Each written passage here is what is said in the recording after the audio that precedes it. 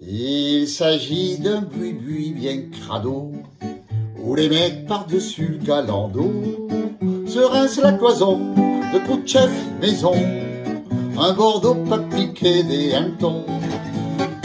Temps en temps, y a un vieux pull à sueur qui s'offre un vieux jambon au vieux beurre, et puis une nana, une jolie drôlesse qui promène des monceaux de caresses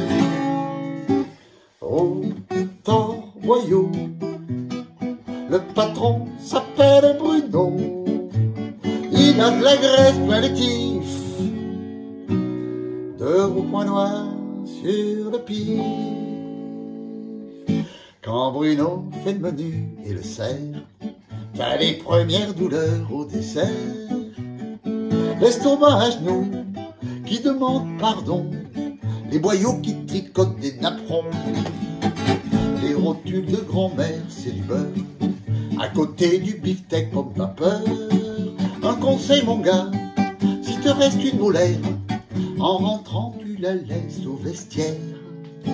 Oh, temps boyau, le patron s'appelle Bruno, sa femme est morte il y a trois mois d'un ulcère à l'estomac.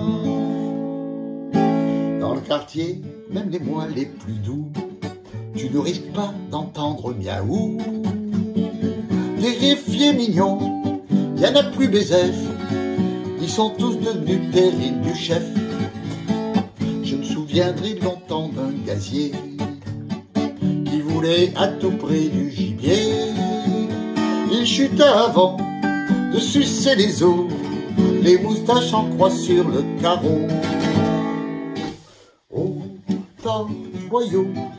Le patron s'appelle Bruno. Il envoie des postillons, ça fait des yeux dans le bouillon. Sois prudent, prends bien garde au fromage. Son camembert a eu le retour d'âge. Avant de l'approcher, t'assure que j'hésite ou alors c'est qu'il a la sinusite. Quand Bruno un gros panari, le docteur a prescrit bain-marie.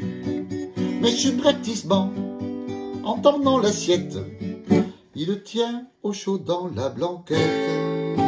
Oh, moyau, le patron s'appelle Bruno, rien qu'à humer mironton.